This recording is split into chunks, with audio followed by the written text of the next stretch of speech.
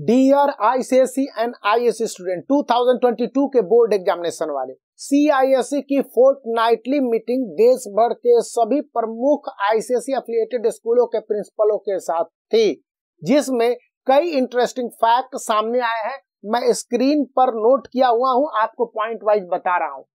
जो कि स्कूलों ने सीआईएससी को उल्टे धता बता दिया मतलब कि उल्टे थ्रेटनिंग दे दिया है। और कहा है कि 96 परसेंट हमारे स्टूडेंट नहीं चाहते हैं ऑफलाइन मोड में एग्जामिनेशन को देना।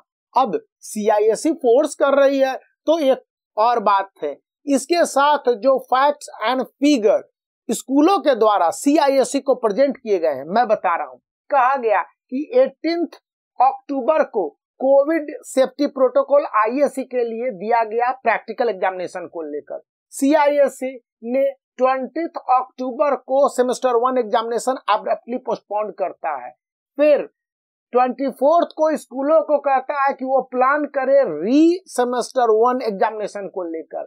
और फिर आईसीएससी एंड आईएससी के सेमेस्टर वन बोर्ड एग्जामिनेशन को ऑफलाइन कंडक्ट करने के लिए ट्वेंटी नाइन्थ अक्टूबर को साफ़ साफ़ कह देता है। सीआईएससी कई गाइडलाइंस आईसीएससी एंड आईएससी के लिए थर्टीथ अक्टूबर को रिलीज़ कर देता है। तो इतने सारे चेंजेज अक्टूबर के महीने में और कई इंटरनल सर्कुलर जो स्कूलों को जारी किए गए, वे इतनी आसानी से नवंबर के महीने में इम्प्लीमेंट नहीं किया जा सकता। स्कूलों ने स्पष्ट रूप से सीआईएससी को फोर्टनाइटली मीटिंग के दौरान जितने भी सीनियर ऑफिशियल थे, उनको बता दिया। सेकेंड पॉइंट जो स्कूलों ने रखा है कि हमारे यहाँ स्टैंडर्ड वन से लेकर एट तक के स्टूडेंट के लिए स्कूल खुले जाने पर भी ten to fifteen percent attendance है।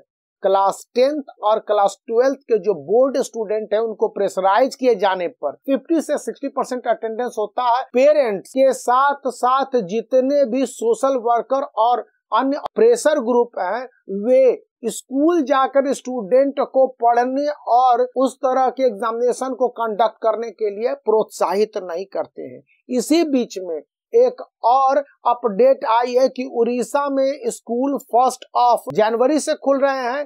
कोलकाता में दो ऐसे पिटीशन हाई कोर्ट में दायर कर दिए गए हैं, जो कि वहाँ पर स्कूलों के खुलने के अगेंस्ट है। इसके अलावे कई सारे ऐसे पिटीशन, यानी कि पीआईएल या जो कह लीजिए डिफरेंट हाई कोर्ट में साउथ इंडिया में भी दायर किए जाने की बातें टीचर यूनियन के द्वारा या फिर पेरेंट्स और स्टूडेंट यूनियन के द्वारा कही गई और यह सीआईएससी को बताई गई है। सीआईएससी से यह बोला गया है कि आप जो ऑफलाइन मोड में एग्जामिनेशन के कंडक्शन को लेकर इतने सारे स्ट्रिक्ट यू कह लीजिए शॉकिंग गाइडलाइंस और अपडेट्स यानी कि इंफॉर्मेशन दे रहे हैं। इससे स्टूडेंट की जो नॉर्मल स्टडी साइकिल है, वही प्रभावित हो रही है ICSE class tenth and ISC class twelfth के लिए। ऐसे भी एमसीक्यू एग्जामिनेशन जो semester one ICSE and ISC के हैं, वही घन चक्कर का स्थिति डाले हुए है, क्योंकि जितना भी इसके बारे में बताया जाए स्टूडेंट एडॉप्ट और एक्सेप्ट नहीं कर पा रहे हैं। बहुत सारे स्टूडेंट की मेंटल कंडीशन ट्रबलसम है इन एग्जामिनेशन को लेकर क्योंकि मोस्टली यह पढ़ाई ऑनलाइन मोड में हुई है और अब ऑफलाइन मोड में examination MCQ semester one conduct किए जा रहे हैं। आईसीएससी एंड आईएससी 2022 के बोर्ड स्टूडेंट के लिए 2021 नवंबर और दिसंबर में प्रपोज्ड है ये एग्जामिनेशन तो इस पर सीआईएससी को गंभीरता से कई पॉइंट को विचार करने के बाद डिसीज़न लेने हैं और जो कुछ वे डिसीज़न होंगे, ये स्कूलों ने कहा है कि हम एक्सेप्ट डिटो करेंगे। तो इस विषय पर मैं पार्ट वाइज सारे डिटेल्स को बताता रहूँगा। एक सब बनता है इस वीडियो को अपने दोस्तों के बीच में शेयर करने और चैनल को सब्सक्राइब करके रखें।